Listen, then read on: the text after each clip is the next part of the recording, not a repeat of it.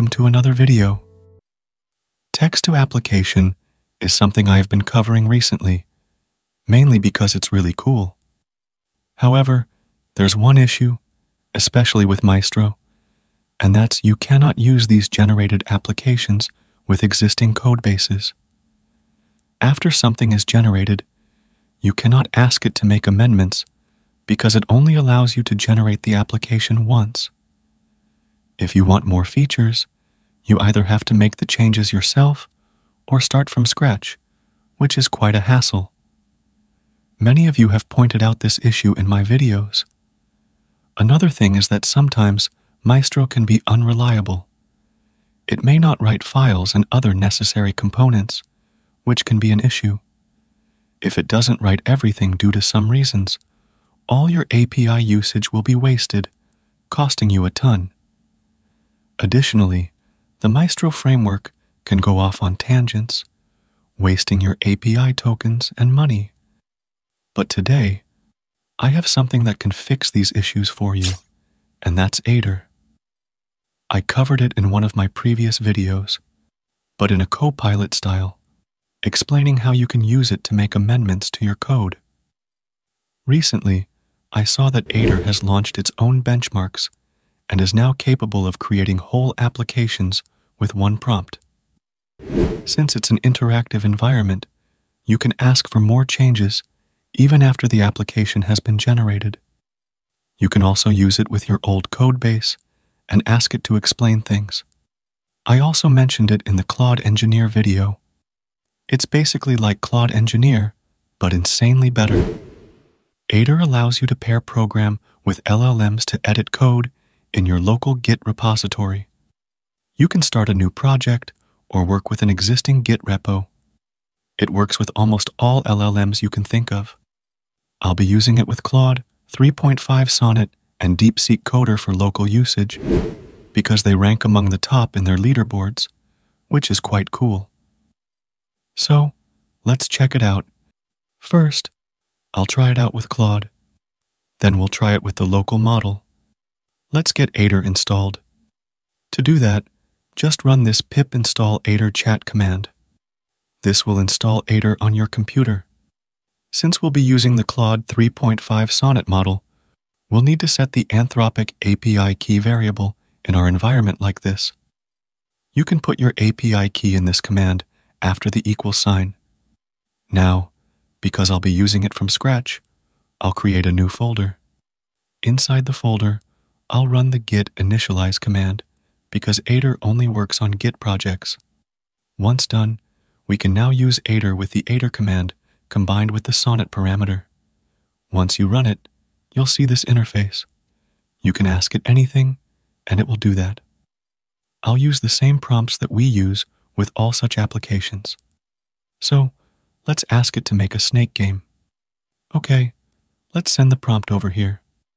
As you can see, it has started the generation.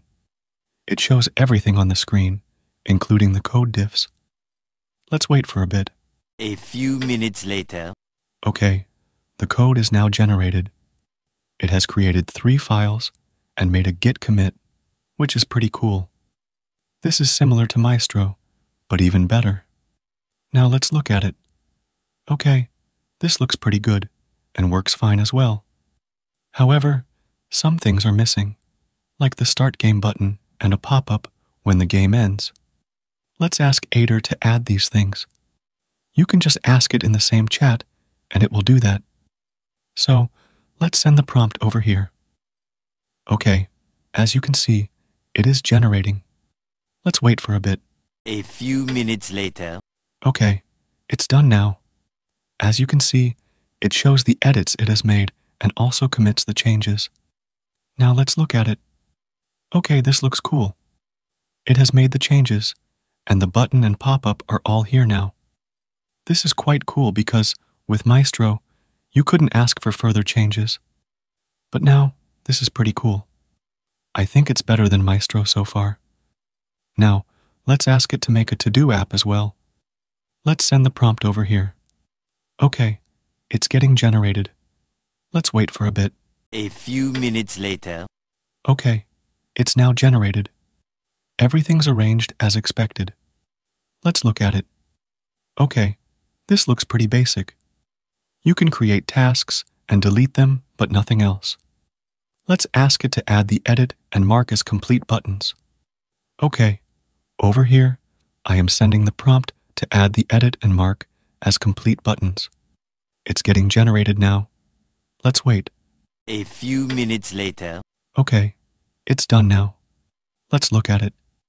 Okay, as you can see, now we have all the options here. We have the edit and mark as complete options, which is quite cool. This refinement option that you get with Aider is quite cool because after the first generation, you can keep refining it until you get what you want. It's pretty cool. Let's also try creating a landing page with it. Okay, I have sent the prompt over here. Let's wait for a bit. A few minutes later. Okay, the code is now generated. Let's look at it. This is very basic. It has the About Us and contact links, but nothing else. Let's ask it to add those separate pages and links.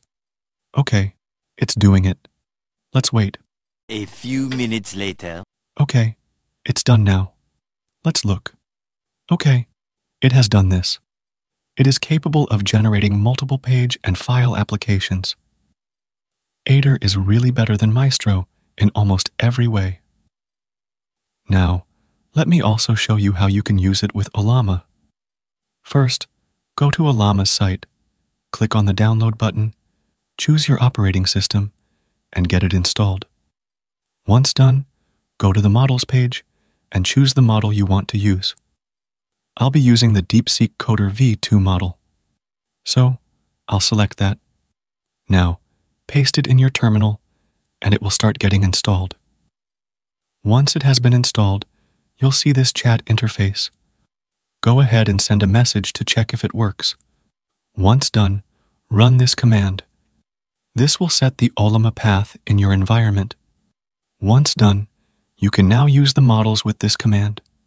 After the slash, you'll need to enter the model name. Now, you can use it with that. Let's create a Minesweeper game with it. Okay, it's creating it. Let's wait. A few minutes later. Okay, it's now created. Let's run it and see. Okay, this looks fine and works as well, which is pretty cool considering it's made with a local model. Let me know if you want a full video where I try it out in depth with these local models.